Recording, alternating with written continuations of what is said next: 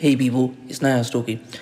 Now, I always love doing black artist videos and I enjoy doing this for a reason because I think it's very important to feature black artists and to show black people as portrayed by other black people.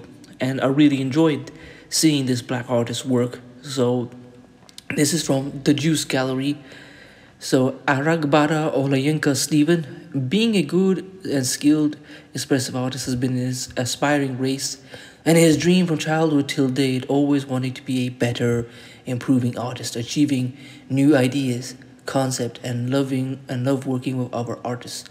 He has a national diploma. Well, it says he have, but I think that's a misspelling. A national diploma in the fine art. Ryan Graduated from the Polytechnic Ibadan as a fine art student also did his industrial history training at Universal Studios of Art in Gudma, Lagos, Nigeria. he later went to Obafemi Awolowo University, Ile-Ife, Osun State, Nigeria through direct entry, which he still studies fine art. He graduated from the university and started practicing as a full-time studio artist. His work focuses more on humanity's natural phenomena in or outside its environment, and as an artist, a painter, and a draftsman, he uses colors, drawing medium and has a medium of expression to document, freeze memories and moments for future reference and also interest viewers, defines connection to his art pieces. He has worked in galleries in and outside Nigeria, also with art collectors and art lover.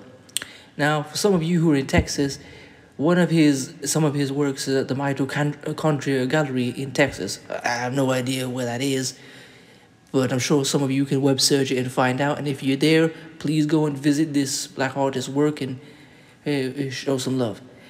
Also, uh, doing some quick research, I found that some of these sites are selling his work.